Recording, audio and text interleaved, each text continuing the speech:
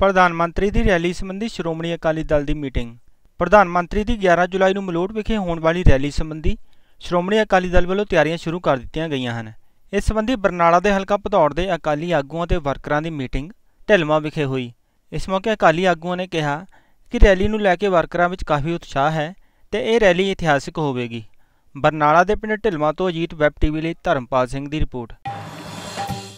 ਇਹ ਜਿਹੜਾ ਸੁਖਵੀਰ ਜੀ ਦੇ ਤੇ ਬੀਬੀ ਹਰਸਿਮਰਤ ਕੌਰ ਬਾਦਲ ਜੀ ਦੇ ਐਫਰਟਸ ਨਾਲ ਮੋਦੀ ਸਾਹਿਬ ਨੇ ਜਿਹੜੇ ਨੇ ਇੱਕ ਘਣ- ਜਿਨਸਾਂ ਦੇ ਭਾਅ ਵਧਾਏ ਨੇਗੇ, ਸਵਾਮੀ ਰਾਮਨਾਥਨ ਕਮਿਸ਼ਨ ਨੂੰ ਜਿਹੜਾ ਹੈਗਾ ਹੈਗਾ ਲਾਗੂ ਕੀਤਾ ਹੈਗਾ ਉਹਦੇ ਸੰਬੰਧ ਦੇ ਵਿੱਚ 11 ਤਰੀਕ ਦੀ ਜਿਹੜੀ ਆ ਰੈਲੀ ਰੱਖੀ ਆ, ਪ੍ਰਧਾਨ ਮੰਤਰੀ ਜੀ ਦੀ ਆਮਦ ਦੇ ਵਿੱਚ, ਪੰਜਾਬ ਦੇ ਵਿੱਚ ਸੁਖਵੀਰ ਜੀ ਦੀ ਅਗਵਾਈ ਥੱਲੇ। ਉਸ ਰੈਲੀ ਨੂੰ ਸਕਸੈਸਫੁਲ ਕਰਨ ਲਈ ਜਿਹੜੀ ਸੀ, ਅੱਜ ਅਸੀਂ ਹਲਕਾ ਭਦੌੜ ਦੇ ਸਮੂਹ ਲੀਡਰਸ਼ਿਪ ਦੀ ਮੀਟਿੰਗ ਰੱਖੀ ਸੀਗੀ। ਕਿਉਂ? ਕਿਉਂਕਿ ਵੱਧ ਤੋਂ ਜੋ ਪ੍ਰਧਾਨ ਜੀ ਨੇ ਸਾਨੂੰ ਹੁਕਮ ਕੀਤਾ ਵੀ ਇੰਨੀਆਂ ਬੱਸਾਂ ਉਸ ਰੈਲੀ 'ਚ ਲੈ ਕੇ ਜਾਣੀਆਂ ਨੇ ਉਸ ਰੈਲੀ ਨੂੰ ਕਾਮਯਾਬ ਕਰਨ ਲਈ ਜਿਹੜੀ ਅੱਜ ਦੀ ਮੀਟਿੰਗ ਰੱਖੀ ਸੀ ਹਲਕਾ ਭਦੌੜ ਦੀ।